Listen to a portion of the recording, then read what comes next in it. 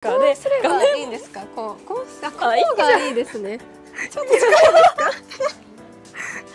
いいですか？そう大丈夫ですね。はい。えー、と何の話してましたっけあそうえー、とシャキシャキ感のあるキュウリが好きと言った。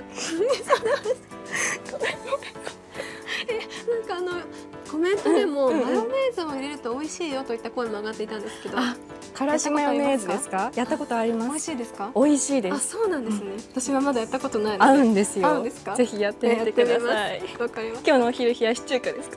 今日はお昼、うん冷やし中華にしようか いいですね。あ 寄ってきたよ寄って寄ってきました。拡大していただき いただきましたね。さあまあそんな今日もはい。あの仲良くクロストークしていきましたが。はいコーヒータイムではどんなところを見どころとしていきますか？